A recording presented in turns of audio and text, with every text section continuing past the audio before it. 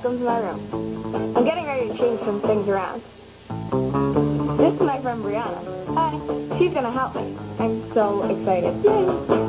I think my room right now looks like a younger me, so I kind of want to update it and make it more me. First, we have to move some things around. Brianna and I have been interested in, in interior design since about like third or fourth grade. Trying to figure out what we could change about our room to make it look cool and like do like certain lighting. Yeah, this one's kind of good. I decided to put my purse collection up on the wall. Hey mom, can I use the hammer? Sure. Just be very careful with it, please. I will. Did your mom say you could do this? Yeah, I asked her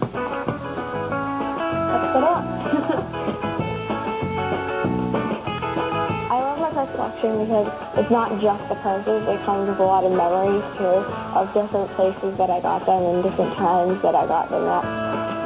Okay. So which one do you think should go at the top? This is like one of my favorites because somebody took a cigar box and they turned it into a purse. So they like recycled in a way and it also really looks cool.